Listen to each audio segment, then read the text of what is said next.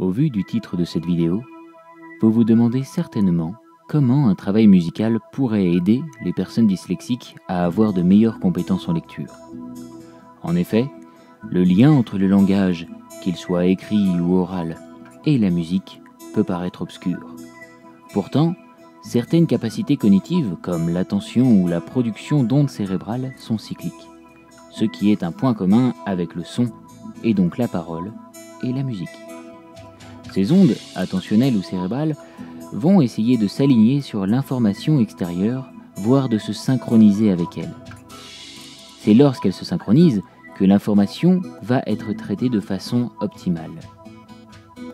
Il faut savoir que le rythme du son est plus facilement traité s'il s'agit de musique. En effet, le rythme musical est plus prédictible que le rythme de la parole. Ainsi, travailler en musique devrait plus facilement travailler la synchronisation de l'attention et des ondes cérébrales avec les informations extérieures. Cela entraînerait donc un meilleur traitement de cette même information.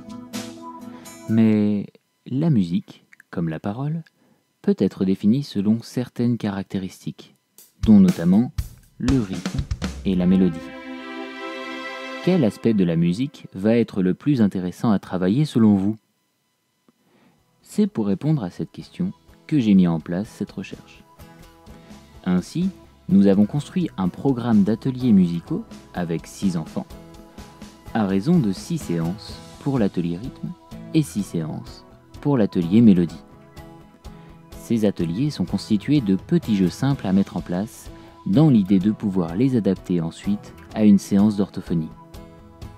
Il a été constaté que l'atelier rythme a eu de nombreux bénéfices sur les capacités langagières et attentionnelles, notamment sur les épreuves où les enfants éprouvaient le plus de difficultés, comme en lecture non signifiante, en discrimination de non-mots en débit rapide, en épreuve de distractibilité, en épreuve de barrage, etc.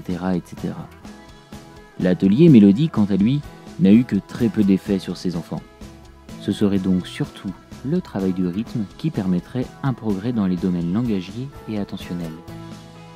Aujourd'hui, il serait très intéressant de répliquer cette étude pour pouvoir généraliser ou non les résultats trouvés. S'ils sont concluants, nous avions dans l'idée de travailler à l'adaptation de l'atelier rythme, qui s'est fait en groupe, à une séance d'orthophonie en individuel.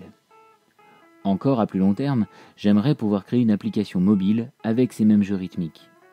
Ainsi, les patients pourraient travailler sur leurs difficultés en autonomie et parfois même sans s'en rendre compte.